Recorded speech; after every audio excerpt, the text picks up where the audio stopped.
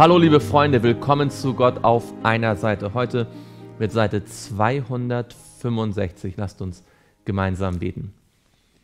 Lieber Vater im Himmel, danke, dass wir jeden Morgen, jeden Abend, in jeder Situation bei dir Zuflucht finden dürfen. Und dass, wo immer wir auch sind, deine Rettung nur ein Gebet entfernt ist. Herr, dafür danken wir dir von ganzem Herzen und dass du durch dein Wort auch zu uns heute sprechen möchtest. Wir bitten dich, dass du unser Lehrer bist, dass der Heilige Geist durch dein Wort direkt zu unserem Herzen spricht. Das bitten wir im Namen Jesu. Amen. Wir sind in Josua Kapitel 21. Es geht nun um die Leviten, die, obwohl sie kein eigenes Territorium erhalten, doch auch Städte erhalten müssen.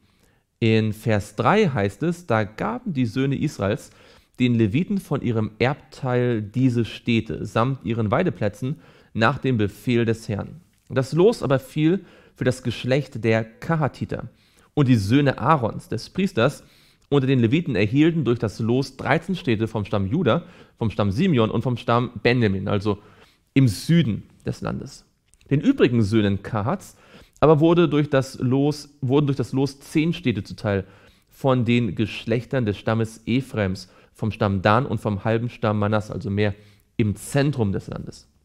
Aber den Söhnen Gersons wurden durch das Los 13 Städte gegeben von den Geschlechtern des Stammes Isaschas, vom Stamm Asser und vom Stamm Naphtali und vom halben Stamm Manasse in Baschan. Das ist also mehr im Norden gelegen, tendenziell. Den Söhnen Meraris nach ihren Geschlechtern wurden zwölf Städte vom Stamm Ruben, vom Stamm Gad und vom Stamm Sebulon zuteil. Das also im Osten.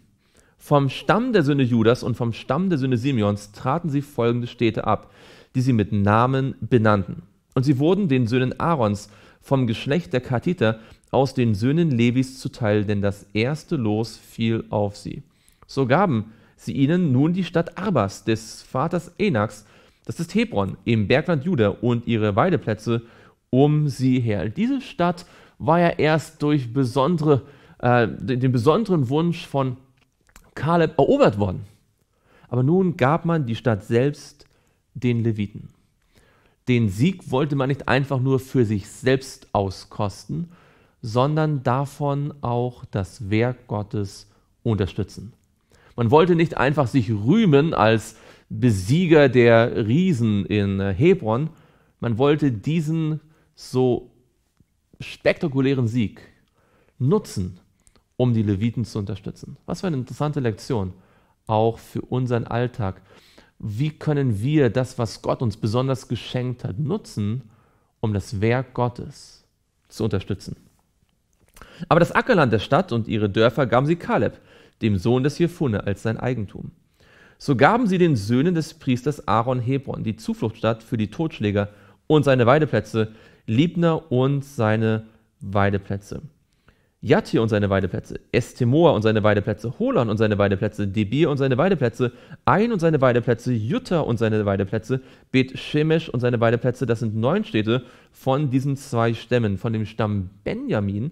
Aber gaben sie Gibeon und seine Weideplätze, Geber und seine Weideplätze, Anatot und seine Weideplätze, und Almon und seine Weideplätze. Das sind vier Städte.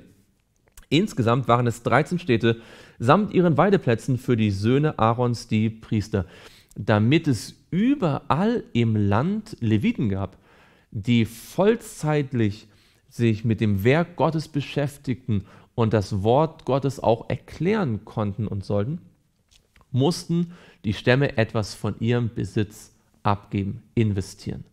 Auch wir müssen etwas von dem, was wir haben, investieren und geben, damit wir gesegnet werden können mit Menschen, die uns das Wort Gottes auf besondere Weise näher bringen können. Den Geschlechtern aber der Söhne Karts, den Leviten, die von den Söhnen Karts noch übrig waren, wurden die Städte ihres Loses von dem Stamm Ephrem zuteil. Und sie gaben ihnen Sichem, die Zufluchtsstadt für die Totschläger und seine Weideplätze im Bergland Ephrem ferner Geser und seine Weideplätze, Kipsaim und seine Weideplätze, Bet Horon und seine Weideplätze, das sind vier Städte. Und von dem Stamm Dan, Elteke und seine Weideplätze, Gibeton und seine Weideplätze, Ayalon und seine Weideplätze, Gad-Rimmon und seine Weideplätze, das sind vier Städte. Von dem halben Stamm Manasse aber Taanach und seine Weideplätze, Gad-Rimmon und seine Weideplätze, das sind zwei Städte. Insgesamt waren es zehn Städte samt ihren Weideplätzen für die übrigen Söhne des Geschlechtes Kahats.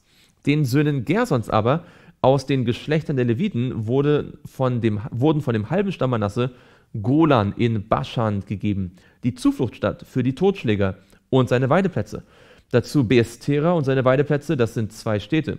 Vom Stamm Isaschar aber Kision und seine Weideplätze, Daberat und seine Weideplätze, Jarmut und seine Weideplätze, En-Gannem und seine Weideplätze, das sind vier Städte. Und vom Stamm Asser Miseal und seine Weideplätze, Abdon und seine Weideplätze, Helkat und seine Weideplätze, Rechob und seine Weideplätze, das sind vier Städte. Vom Stamm Naphtali, aber Kedesh in Galiläa, die Zufluchtsstadt für die Totschläger und seine Weideplätze, Hamot Dor und seine Weideplätze, Kartan und seine Weideplätze. Das, Essen, das sind drei Städte. Insgesamt waren es 13 Städte samt ihren Weideplätzen für die Geschlechter der Gersoniter. Was uns auffällt ist, dass die Zufluchtsstädte, die symbolisch das Evangelium erklären sollten, allesamt hier in die Hand der Leviten gegeben worden sind. Die Städte, die das Evangelium ausdrücken sollten, sollten auch von geistlichen Leitern bewohnt werden, die dann den Totschlägern in der Stadt auch entsprechend die geistliche Bedeutung nahebringen konnten. Lasst uns gemeinsam beten.